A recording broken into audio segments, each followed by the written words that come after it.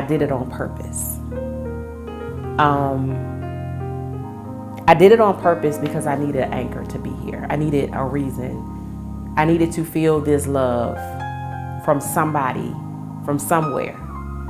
I had these feelings in me that black families you can't talk about. You don't talk about why you feeling the way you feel. You don't talk about that in your black family.